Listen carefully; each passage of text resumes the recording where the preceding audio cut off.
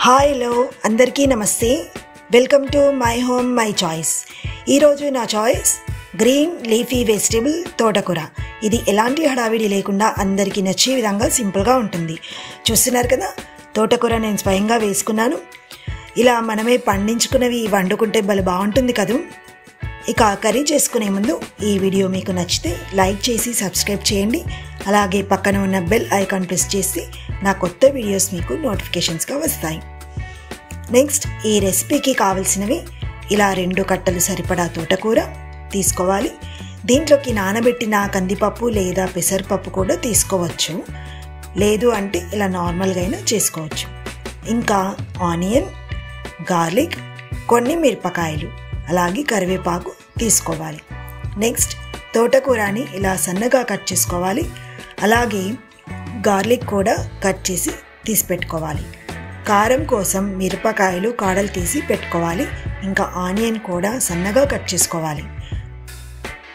Next కడాయిలో oil వేసుకొని జీలకర్ర ఆవాలు టేస్ట్ కోసం కొన్ని ధనియాలు వేసుకోవాలి. వేసుకోకుండా పర్వాలేదు. నెక్స్ట్ నాలుగైదు రెడ్ చిల్లీ వేసుకొని కలుపుకోవాలి. తర్వాత కట్ చేసుకున్న వెల్లుల్లి ఇంకా ఆనియన్ పసుపు కరివేపాకు అన్నీ వేసుకొని బాగా కలుపుకోవాలి. ఇప్పుడు కొన్ని వాటర్ తీసుకొని సన్నగా కట్ చేసుకున్న తోటకూరను ఇలా బాగా కడగాలి. కడిగేటప్పుడు కొంచెం సాల్ట్ వేసుకుంటే ఆకుకూర బాగా క్లీన్ అవ్వడమే కాదు కలర్ కూడా మారదు. దీంట్లో కాడలు ఉంటే వీటిని కూడా యూజ్ చేసుకోవచ్చు. పారవేయకూడదు. ఇవి కూడా ఉడికించే విధంగా ఉంటాయి. కడిగిన తోటకూర ఇందాక పెట్టుకున్న పోపులో వేసుకోవాలి.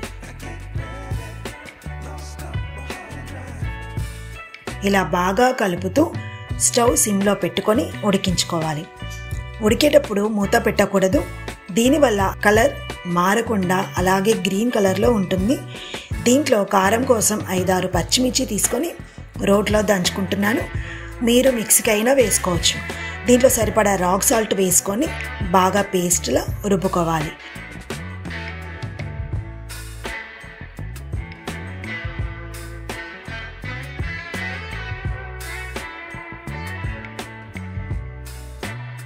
చూస్తున్నారు కదా ఎలా స్మాష్ అయిందో?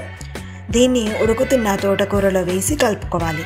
ఇలా చేయడం వల్ల కారం మొత్తం ఈక్వల్గా స్ప్రెడ్ అవుతుంది. లేదంటే తినేటప్పుడు పచ్చిమిర్చి మనకు అడ్డుగా వస్తాయి. సో మీరు ఇలా ట్రై చేసి చూడండి.